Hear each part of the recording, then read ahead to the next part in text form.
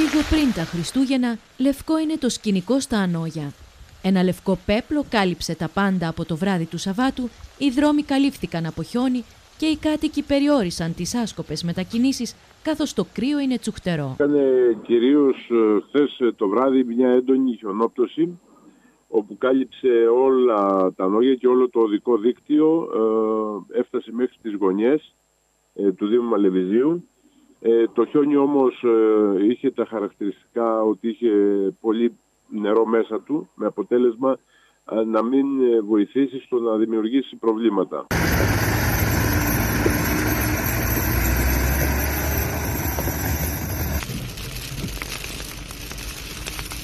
Όπως μαρτυρούν οι εικόνες από τα νόγια, τα μηχανήματα δουλεύουν πυρετοδός και ασταμάτητα, ώστε να μην υπάρξουν προβλήματα στις μετακινήσεις. Τα μηχανήματα, το προσωπικό ήταν ε, σε συνεχή ε, διελεύσεις ώστε να παραμείνει το οδικό δίκτυο ανοιχτό.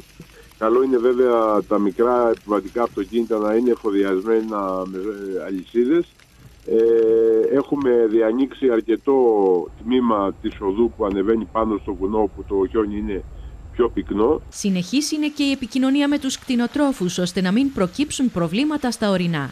Και αν ο χιονιάς συνήθως κινητοποιεί το μηχανισμό ώστε να μην προκύψουν προβλήματα, διαμορφώνει ταυτόχρονα μια ιδηλιακή εικόνα, καθώς το λευκό σκηνικό δένει απόλυτα με τον χριστουγεννιάτικο στολισμό.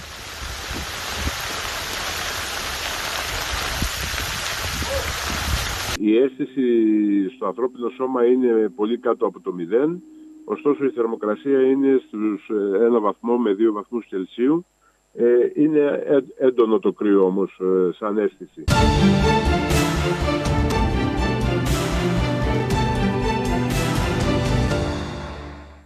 Η κακοκαιρία Κάρμελ έφερε καταιγίδες και πολύ ώρες βροχοπτώσεις στην Κρήτη, χωρίς ωστόσο να καταγραφούν σοβαρά προβλήματα. Το νερό της βροχής ήταν σε πολλά σημεία ασταμάτητο, με αποτέλεσμα η Κρήτη, σύμφωνα με το Μετεό, να συγκαταλέγεται στις περιοχές με τα 8 μεγαλύτερα ύψη βροχής και συγκεκριμένα το Θέρισο Χανίων στην τέταρτη θέση με 40 χιλιοστά και η Κάμπη Κεραμιών στην έκτη με 35 χιλιοστά. Ήταν ένα πέρασμα της κακοκαιρίας σε όλο το νησί, από άκρη άκρη. Ε, Ευτυχώς, ε, βάσει τουλάχιστον των προβλέψεων των εκτιμήσεων των μετρολόγων, δεν έπεσαν τα ανάλογα ύψη βροχής. Ε, που πιθανότατα να είχαν καταστροφές, να είχαμε άλλου είδους προβλήματα. Στην Παντάνα Σαρεθύμνου τα ξημερώματα εν μέσω κακοκαιρίας ακινητοποιήθηκε αυτοκίνητο και χρειάστηκε η παρέμβαση δύο πυροσβεστών για την παροχή βοήθειας στα δύο άτομα που επέβαιναν στο όχημα. Σε κάθε περίπτωση είναι αυτό που τονίζουμε, είναι αυτό που ζητάμε από τους πολίτες όταν έχουμε εκδήλωση έντονο καιρικό φαινομένων να ακινητοποιούν το όχημα αν βρίσκονται στο δρόμο ή τέλος πάντων αν δεν υπάρχει μεγάλος σοβαρός λόγος να μην μετακινούνται καθόλου.